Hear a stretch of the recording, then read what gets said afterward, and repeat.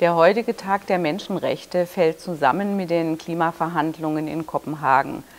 Aus unserer Sicht, der Sicht der Heinrich-Böll-Stiftung, werden Menschenrechtsverletzungen und das Recht auf Nahrung viel zu wenig in den Klimaverhandlungen diskutiert und dort auch nicht wirklich politisch bearbeitet.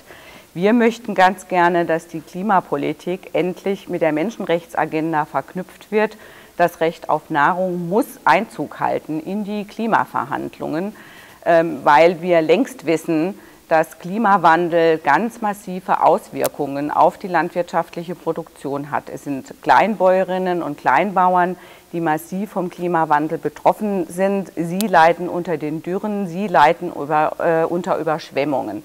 Antworten auf den Klimawandel müssen deswegen unbedingt das Recht auf Nahrung beinhalten. Antworten auf den Klimawandel müssen Kleinbauern und Kleinbäuerinnen einbeziehen, weil sie lokal sehr häufig die besten Antworten darauf haben, wie man sich an den Klimawandel anpassen kann. Sie müssen teilhaben können an den Strategien. Es wird für Klimaanpassungsmaßnahmen, gerade auch der, im landwirtschaftlichen Bereich, Milliarden von Geldern geben. Und äh, unser Anliegen ist es, dass Menschen mitsprechen daran, dass sie wissen, wie Anpassung an den Klimawandel möglich ist. Wir befürchten, dass äh, viele Milliarden, die in, den, in die Klimaanpassung fließen, die Menschen außen vor lässt und eventuell auch Strategien befördert, wie beispielsweise genmanipulierte Nutzungspflanzen anzuwenden, die aus unserer Sicht nicht die Antwort sind auf den Klimawandel. Wir möchten verhindern, dass falsche Wege gegangen werden. Unser Ziel ist es, die Menschen zu befähigen, Antworten selbst zu finden. Die Heinrich-Böll-Stiftung hat gemeinsam mit der Columbia Law School eine Studie veröffentlicht, die thematisiert, wie das, der Klimawandel und das Recht auf Nahrung miteinander kombiniert werden können. Wir möchten, dass das Recht auf Nahrung Teil der Klimaverhandlungen wird, Teil des Klimaverhandlungsprozesses. Das Recht auf Nahrung muss dort integriert sein. Wir geben mit dieser Studie Empfehlungen darüber, wie genau das Recht auf Nahrung in den Klimaverhandlungsprozess, in die Klimaanpassungspolitiken etc. integriert werden können. Well, the publication of this report by the Columbia Human Rights Institute and with the support of the Heinrich Böll Stiftung is a unique opportunity to rethink the relationships between the climate change agenda and the human rights agenda. I think we have to face the reality. The impact of climate change on human rights and on the right to food in particular shall be massive in the next few years.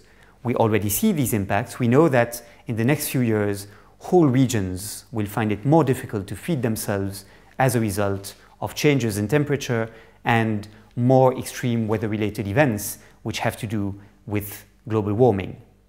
Now, States make commitments to reduce emissions and therefore mitigate climate change, and I welcome these important commitments. But we must also realize that in implementing these reductions, states may use a variety of techniques. They have many flexibilities as to which mechanisms they can prefer in order to achieve these reductions in greenhouse gas emissions. For example, they may set up the trading of emission credits by cap and trade schemes, they may develop biofuels as an alternative to fossil fuels in transport. It is hugely important to realize that such mechanisms can have differentiated impacts on human rights. And if they are not very carefully monitored, if they are not guided by human rights considerations, they may actually have negative impacts on the human rights of some of the most vulnerable populations on Earth. For example, Carbon credit schemes under the Clean Development Mechanism could have a very negative impact for indigenous peoples or other populations living off the products of the forests. Or um, alternatively, you could see agrofuels plantations developing, as we already see over the past few years, with um, very serious risks for farmers depending on the land for their livelihoods, uh, who risk being evicted as a result of the development of these large plantations for the production of agrofuels. The right to food, therefore, should be taken into account in the way we meet the challenge of climate change.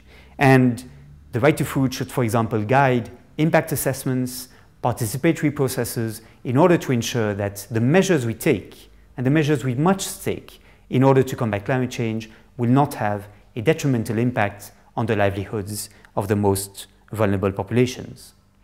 The right to food also indicates some positive solutions which should be explored more in depth in the future.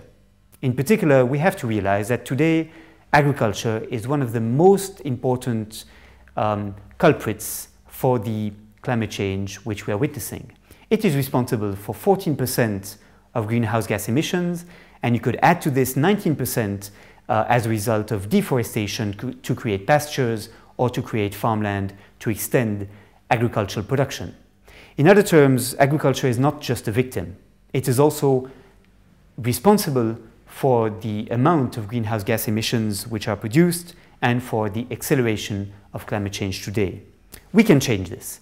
We can change this by encouraging reliance on more sustainable forms of production, by encouraging agroecological techniques, by encouraging the use of low external input agriculture, the use of biopesticides, manure in the fields instead of chemical fertilizers, uh, for example.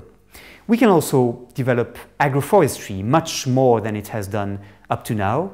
There are certain very promising projects in, in Tanzania and Malawi on a very large scale which show the feasibility of these projects and show that agroforestry can be a solution not just to preserve the soils and to limit climate change, but also to raise the incomes of the poorest families. These agricultural practices, which are low external input, which are low tillage, which are uh, dependent on locally produced inputs, such as biopesticides or manure, these agroecological techniques can not only have beneficial impacts for the environment, they can also raise the incomes of farmers who all too often um, have no access to credit and find it much more difficult to rely on expensive external inputs. And I therefore would encourage more convergence between the agendas of the right to food and of climate change mitigation strategies, because I believe these two agendas, which are for the moment sometimes in, in contradiction, in competition with each other, they can be mutually uh, supportive and they can be complementary. And therefore, I would, I would encourage um, the reading of the report, which is now available on the website of the Heinrich Böll Stiftung and which is available on the website of the Special Rapporteur on the Right to Food, in order to identify the very concrete, practical ways in which the two agendas can be um, uh, made to work together. Thank you.